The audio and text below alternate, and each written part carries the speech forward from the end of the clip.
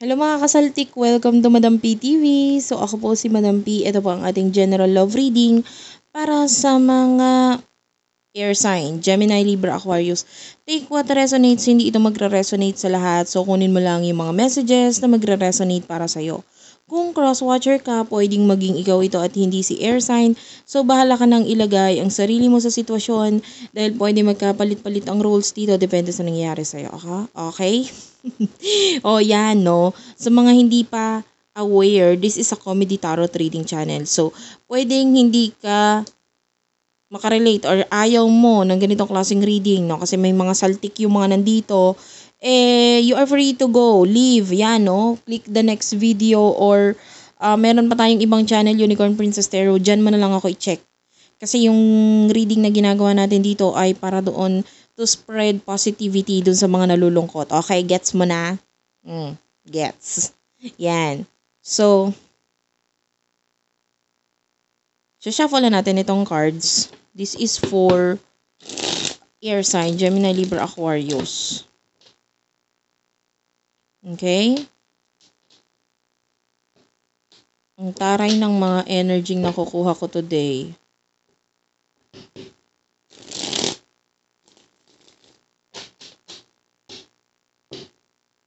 What do we have here for our air sign? Gemini, Libra, Aquarius.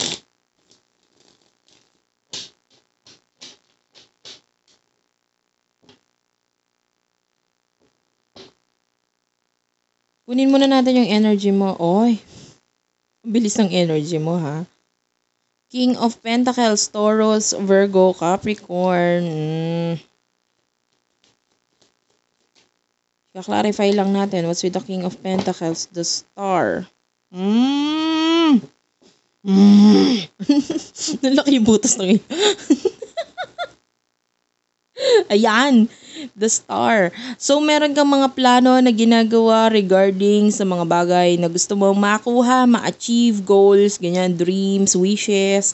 Andiyan yung plano mo or nandiyan yung action mo regarding um, sa mga ginagawa mo ngayon. Like, mm, may bagay kang gustong makuha, possible a person, and talaga naman, ginagawa mo yung best mo or possible pagpaplano mm, regarding dito sa gusto mong ma-achieve na ito?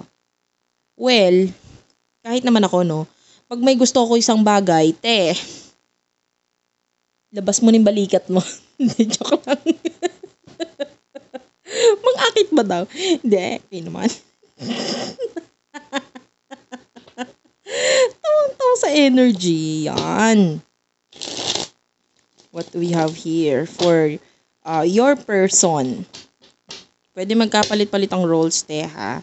Pwedeng yung person mo ito. Yan. Ano yung energy ng person mo? Ace of Pentacles, Taurus, Virgo, Capricorn.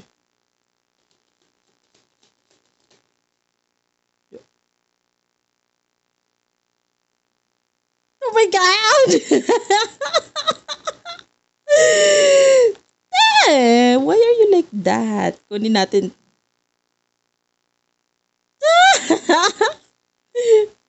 Sorry, ganito talaga ako pagka kinikilig. Ba? Kinikilig ako sa energy, parang sarap pagpatiwakal today. na sinaw na, susulat na ka ng ano, eh, death note, yeah. death note ba yon Parang suicidal note. Sobrang kilig ko sa'yo. Ganyan. Kasi nakakuha tayo ng angel number dito, te. Ace of Cups, Ace of Pentacles is here. Tapos lumabas si Ace of Swords. Doon pa lang, tatlong 111. That is an angel number. 111, if I am not mistaken, mistaken um, has something to do with the spiritual awakening yan. Pero search mo na lang din sa Google. Maaring may angel na, may, may gusto pang sabihin sa iyo ang iyong angel. Uh, dahil yung angel number ay nagpakita sa iyo. Lalo na kung lately, lalo nagpapakita, lagi nagpapakita sa iyo yung 111 na number na yan ha. So this is your person. Ang daming new beginning na nangyayari sa kanya. pwedeng may kinalaman sa love, finances, etc. And lalo na sa pag-iisip, te, yung isip niya, ang dami niyang iniisip na pagbabago ngayon. Could be dealing with someone with the page of wands na gustong mag-message, gustong makipag-usap, gustong makipag-usap ng something-something na may kinalaman with the eight of pentacles. Ibig sabihin, growth sa inyong dalawa. Te, parang gusto niya na pag-usapan ito. Ayaw niya na ng ganito. Gusto niya na pag-uusap na something-something na may kinalaman sa... Kailan ba tayong magkakaroon ng pag-uusap na may kinalaman sa lab? Kasi yung iba sa inyo, pwedeng ipag-uusap nyo, kinalaman lang pera.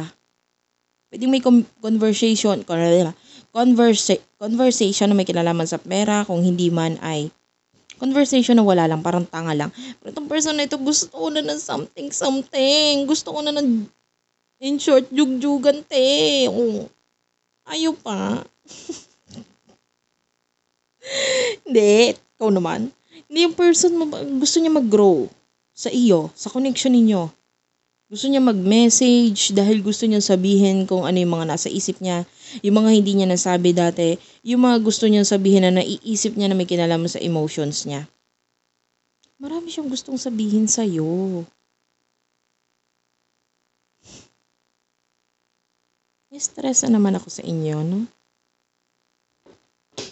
Ngayon, punta naman tayo sa ano yung nasa isip nitong person na ito. Yan, bakit niya gustong sabihin itong mga bagay? Ano mga, ano mga gusto niya sabihin dito? Five of Cups is here. Cancer, Scorpio, Pisces. By the way, may narinig akong kumatok. Pero hindi dito sa lugar namin. So, possible dyan sa area mo. So, kung may kumatok dyan sa area mo, this could be a reading. Yeah. Five of Cups, Two of Swords, Gemini, Libra, Aquarius. Sa side mo, two of... Kaya naman pala. Pwedeng may another relationship na involved dito sa situation. Ito, ito, ito yung iniisip mo. Like, paano? Eh, meron pang isa.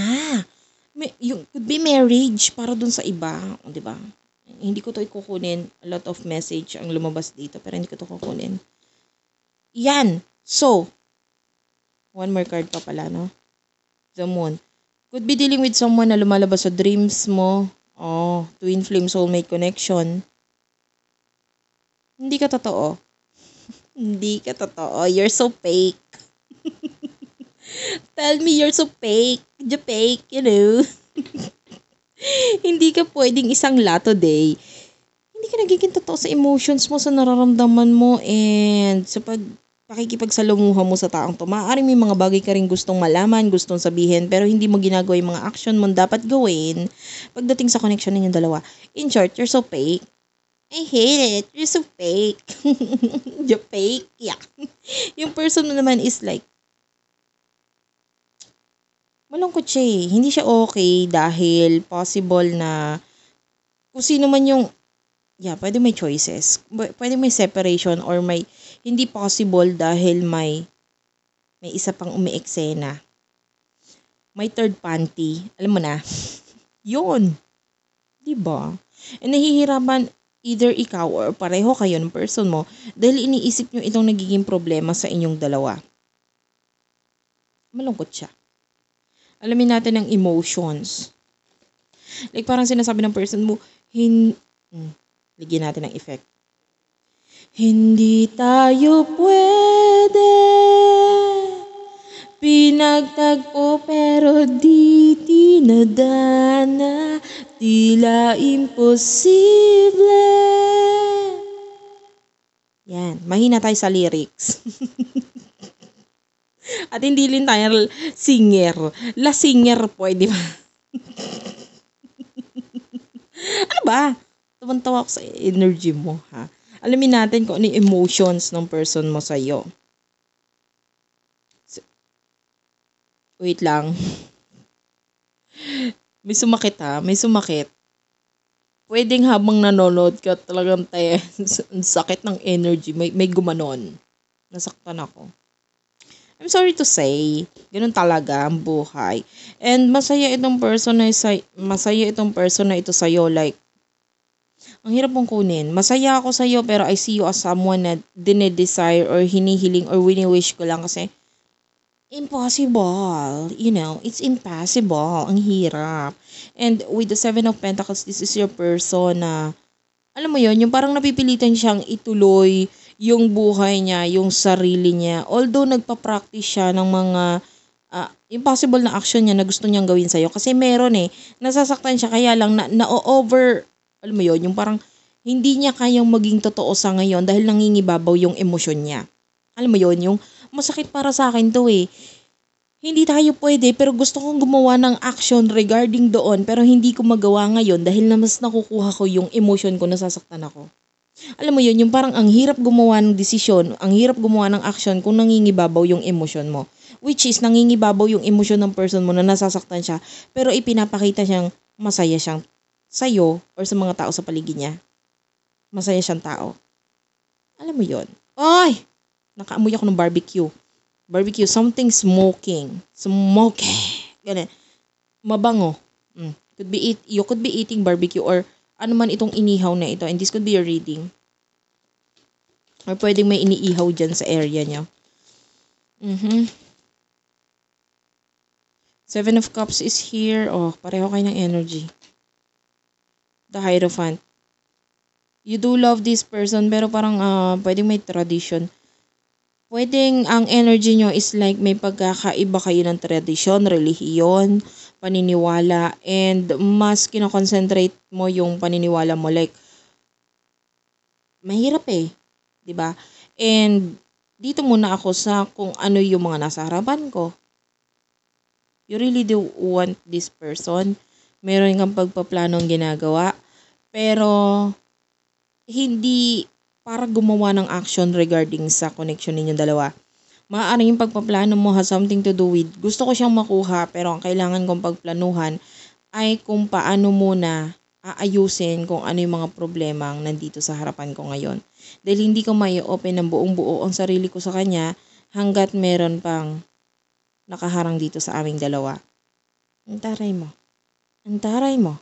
You're so taray today. Diba? Alamin naman natin yung iyong near future reading. We do have here Knight of Pentacles.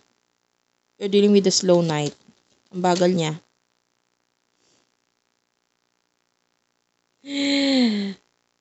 Mamaya na natin sasabihin. Pakikiligin lang kita ng very very light. Yan. May naamoy ako dito. Parang may nangangailangan na ng ligo sa inyo. Yun totoo. Pwede nga habang nagre-reading ako dito, inaamoy-amoy mo yung sarili mo. ako na nagsasabi, go! Push! Hindi kita pipigilan. Tinatawagan ka na rin ng si Arya. The tower is here. Yan, the tower is here. Strength card and one last card please. Hoy! Totoo. Oh, bottom of the deck, eight, eight of cups.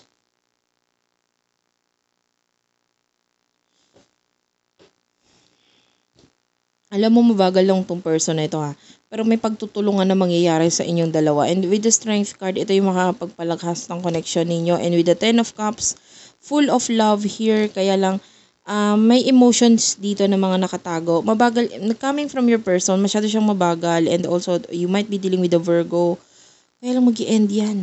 I-end niya kung ano yung emotion na nararamdaman niya sa'yo kasi maaaring possible na gumawa siya ng action which is ang tulungan ka, magtulungan kayo or mag, magkaroon ng pag-uusap sa inyo regarding sa pera para magkaroon ng bagong future sa inyong dalawa. Pero hindi naman ibig sabihin na kayo agad, no? growth lang ng connection para lang may usap kayo, alam mo yon and pero may hintayan pa rin. So in the near future, at least, medyo mas maganda yung connection, communication. May nakikita ako dito mga person na kimpi ang buhok. You might be dealing with someone na, alam mo yung kimpi? Yung dito yung hati. Tapos pa ganon. ba ina-explain? okay, yung, pwedeng yung person may isa kimpi hair. You might be dealing with someone ang cut ng buhok niya is a kimpy hair. O, hindi para sa lahat yun, te. Huwag mong kunin kung hindi. So that's it for now guys. Thank you for watching. Sana naka-resonate kayo. Please do like and subscribe to our channel, Unicorn Princess Nero Madam PTV, Virgo Philippines, and Dapit Hapon TV. I love you all and bye-bye.